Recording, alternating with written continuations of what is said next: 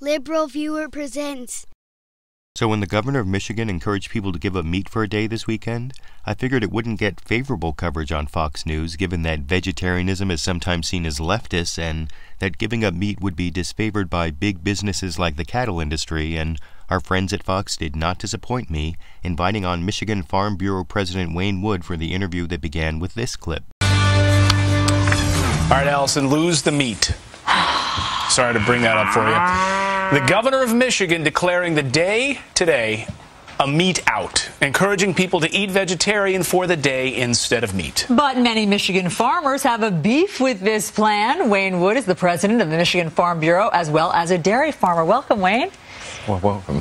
And after they welcomed each other, our friends at Fox conducted a very pro-meat interview that you can see in full at tinyurl.com slash fox4meat including accepting actual misinformation from the guest, as you can see here. The USDA food pyramid recommends two to three servings of lean meat a day as part of a balanced nutrition diet. And then to have this come out uh, was really, really disturbing. Hmm, now, I'm no vegetarian, but I still know that even our pro business government isn't going to recommend people eat two to three servings of meat every day. And sure enough, when I checked the FDA's food pyramid site, what I actually found about what to eat in the meat and beans category was a section about the importance of including fish, nuts, and seeds that specifically says, quote, Many people do not make varied choices from this food group, selecting meat or poultry every day as their main dishes. Varying choices and including fish, nuts, and seeds in meals can boost intake of monounsaturated fatty acids and polyunsaturated fatty acids.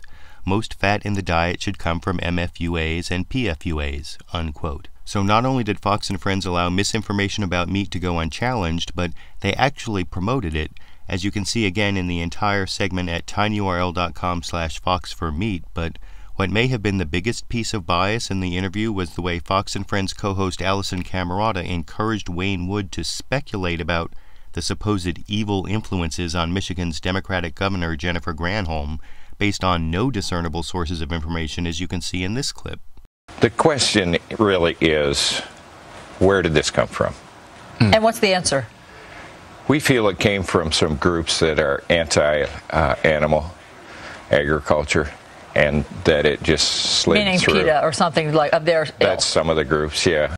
now, when I actually saw that interview live, I was pretty sure Mr. Wood, with a little help from Fox News anchor Alisyn Camerota there, actually said that PETA, which is People for the Ethical Treatment of Animals, is anti animal though when rewatching the clip, I thought maybe despite the long pause, Wood might have been saying PETA is anti animal agriculture. But in any case, the way the Fox News anchor filled in the blank to encourage Wayne Wood to speculate about the supposed evil influences on Michigan's Democratic governor based on no discernible sources of information seemed pretty biased, and although I've heard there's some Fox News memo claiming certain shows on Fox News aren't really news, that didn't stop the producer of Fox and Friends from accepting and airing the slogan sent in by a viewer one morning that you can see read by the brown haired guy who's not Steve Doocy here.